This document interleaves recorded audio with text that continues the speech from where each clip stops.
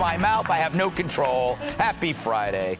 So, if there's anything we learned from COVID, it's that our leaders and experts lie and they suck. That's it. Good night, everybody. First, a leader, so called leader, VP Kamala Harris, or as Joe calls her, President Harris, as she attempts to string some words together like chief half blinking Christmas lights, and she's the dimmest bulb. Six former administration officials last week wrote that open letter urging the administration to change course, to change strategy. Is it time? It is time for us to do what we have been doing, and that time is every day. every day it is time for us to agree mm. that there are things and tools that are available to us to slow this thing down. Mm. That time is every day. wow. It's like a song lyric. That's not word salad, that's a turd salad with a vinaigrette of voter regret. She just starts talking, hoping the words line up like kids at the school cafeteria, but instead they scatter like a deck of cards in a strong wind. Two metaphors tied together. It's funny, the Dems were hoping her youthful enthusiasm would rub off on Biden, which is hard to do because they've only been in the same room twice in the last year. But instead, Biden's incoherence has rubbed off on her. Apparently, it's as contagious as Omicron. Here's a comparison Count the vote count the vote. Count the vote. I urge people to, you can Google it or go on to any search engine and find out where free testing and the free testing site is available. And to help uh, lead our federal testing program, I've talked, I've, I've, I've, ta- I've excuse me, I've tapped uh, Dr. Tom, Eng- I hope I pronounced it, Eng- Eng- Inglesby correct? I have to look at the current information. I think it's going to be by next week, but soon, absolutely soon. And it is a matter of urgency for us. Should we have done that sooner? We are doing it. But should we have done it sooner? We are doing it. Yeah. wow. It's like she caught a new variant. Call it Jomicron. It rots the brains of mediocre politicians. No wonder they inspire as much confidence as a doctor would in the operating room wearing a female body inspector t shirt. Speaking of doctors, this week we found out that our top scientists thought COVID did, in fact, leak from a lab, but they were too worried that further debate would harm science in China. Yeah, because the last thing we want to do is bring a halt to those lab experiments they're doing on caged poodles and Uyghurs. This, according to recently surfaced emails in which one expert admits from nearly a year ago that a likely explanation was that COVID had rapidly evolved in a low security lab yeah, a low security lab. You know, maybe it's me, but that sounds like the worst kind of lab. At least for messing around with deadly viruses. Kat follows better safety protocols when she makes meth in her garage. the email to Fauci and Dr. Francis Collins of the NIH suggests a virus was primed for rapid transmission between humans. That's a pretty big whoops even bigger than the daily one in Biden's slacks. so, what did the experts do? Did they leap into action to get the truth out? Fat chance, my Friday friends. They fretted that even debating gain of function research would do unnecessary harm to science in general and science in China in particular. Francis Collins warned it could damage international harmony. That's right. They kept it quiet not to protect you, but to protect the feelings of the brutal, lying dictatorship that's as sensitive as a chubby kid on TikTok. Speaking of harmony, what was Collins, the former head of the NIH, doing rather than telling us the truth? This. Somewhere past the pandemic, when we're free, there's a life I remember full of activity. You know, I'm looking at the signer over there and I'm thinking, you know, this is a time when I envy the deaf. I think my ears are going to charge me with murder. So, yeah, Nero fiddled while Rome burned, and while a pandemic raged, Francis played his guitar like an camp counselor, ruining your s'mores. So the emails reveal that scientists were less interested in science than politics and felt it was better to hide the origins of a deadly virus than be open with those of us who were about to die. Now, there were people like us who knew the virus likely came from that lab, Some were scientists and they were roundly mocked. Some were called racist. Yet privately, the mocking experts agreed with them. And yet they left the people who said this publicly hung out to dry just to protect their own asses and their own grants. They said we were nuts in tinfoil hats that told us to wear masks in our cars, empty parks, and swimming pools. It raises the point just how sane were the scientists in the first place. They created a deadly virus thinking they could then reverse engineer a vaccine in the name of science. Well, why not just not create the virus? Then you don't need to reverse engineer the vaccine. They've already made vaccines to fight natural viruses, so we really didn't need to invent new, deadlier, creepier ones. But hey, where's the fun in that if you want to play God and keep sucking at the government teat? Which leads to the bigger question accountability. I'm not saying that this man made virus was leaked on purpose. I'm pretty sure no one really wanted to kill more than 10 million people. But in this arrogant, murky universe, experts knew there's a risk you could leak a deadly man made virus, but they deemed the risk acceptable. And when it happened, they blamed it on the wet market, which is pretty much a gross version of Trader Joe's.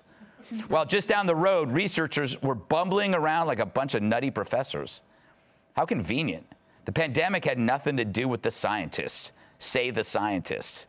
And so Republicans had to force their hand to grant access to the documents after these scientific institutions repeatedly resisted efforts to come clean. And these emails show that scientists were already trying to silence any debate, claiming it would distract top researchers from their active duties. Yeah, the way a nuclear weapon heading towards New York would distract people from going to work. So don't tell them.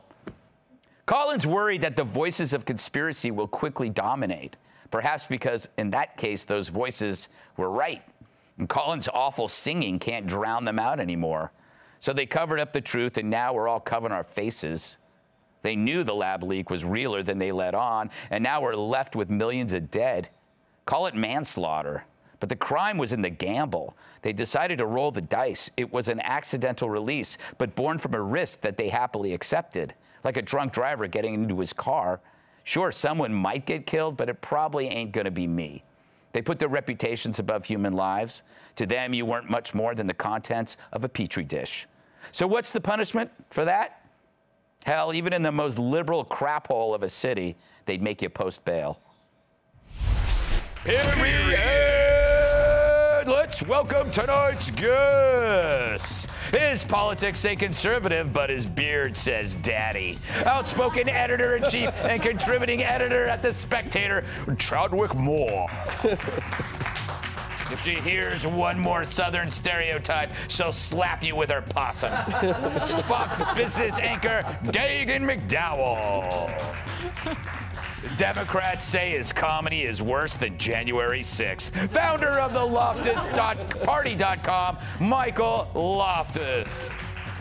And she's proof blondes have more fun, if by fun you mean priors. Fox News contributor Kat Timpf. Yes. So, Michael, what is worse than your wardrobe? The contact of our so called experts or our politicians? All of the above. Thank you. Can't you. they all be equal, Yes, Greg? yes, they can. Uh, this I find this whole thing uh, deeply disturbing. Mm-hmm. Seriously, they're worried about oh this might affect uh, Yeah. science in China. Yes. I'm going to invite them to go to any college campus. Mm-hmm. Uh, science in China is going to be just fine. Yes. they're not going to they're not going to really take a big hit. But here's the thing that I really want to uh, get into. It's like uh, our options were are what uh, accidental leak Mm-hmm. and bat soup. I'm all for that uh, that third rail. That whole hey, let's do this on purpose. Right. Like they keep dialing up these different uh, viruses. This one just seemed too perfect. It's like this one kills redheads. This one kills blondes. Ooh, would you like something in a uh, kills fat diabetics? Yeah. Ooh, that sounds lovely. Could you get that out right before the election? Well, that, I mean, that that is the premise, though, was that you know what? This is an actually you know a really valuable exercise. We create the killer so we can figure out how to stop the killer. But the problem is they they created the killer and the killer got loose. It almost sounds like a movie, Dagen. You know what? If people watched more movies about in the 80s, Mm-hmm. then we would, this would never have happened. and let me explain. What happened to our healthy fear of communism. Yes. And communist countries wanting to wipe the United States off of the face of the earth, take away our luscious freedoms. Like my parents raised me to be, well, fear the Soviet Union. They had Mm-hmm. nukes, they hated America. I watched Rocky and Bullwinkle. Boris and Natasha taught me really, you know, must kill moose and squirrel, where moose and squirrel. And then 1984, best movie maybe ever, Red Dawn. Of course, C. Thomas Howell gave me the tingles. Mm-hmm. Yes. So that's why I wore out the VHS tape. But again, know what you mean. Wolverines! The Soviet Union was evil, but it wasn't just the Soviet Union. I'm not talking McCarthyism, Yeah. you know, the Red Scare, like um, hunting people down, but. We would never like. Don't these old coots, Gordon Lightfoot and Tony Fauci, don't they realize that this communist government? Why would you give them money if you knew that they were going to uh, do experiments in a lab that wasn't safe, which we knew about Yeah, years a low ago. level lab. I mean, Right. at, at least make it a high level lab. They How hard is that? They want to destroy the United States, and if they had, you know, my knowledge from, say, T- Patrick Swayze movies, Yeah. it, th- this would never have happened. Low level. I mean, just put that little weather stripping in the windows. It's like it's, it's seventy bucks. And is this the only lab in China that doesn't have security cameras? It They're like, we don't know what happened. Um, that's what I'm saying. So this is the this is the question, Chadwick, that I haven't heard asked. Okay, so I'm not talking about premeditated murder. I'm talking about negligence. Nobody want the, the Fauci and all that. They didn't want to kill a bunch of people. They thought they thought in their heads that they were saving future lives, right? So they were doing God's work, so to speak. You know, they were like. They were saving millions by creating ways to, but instead, 10 million less. They did it in a careless lab, in a careless way. What kind of accountability is there? Is there? I'm putting this out. I mean, is there like death penalty for the the you know? I don't know. I don't know. I'm just putting that out there. I, I'm not. It's not for me to say because you know Something's gotta happen. Something's got to happen. But You I don't even know. Who, I don't even know who you arrest, and that's another question we'll get to. But like, who who do you charge? I mean, well, you know, we know what the penalty for treason is in this country, and it's supposed to be, but I won't say that on television. Uh, I don't know.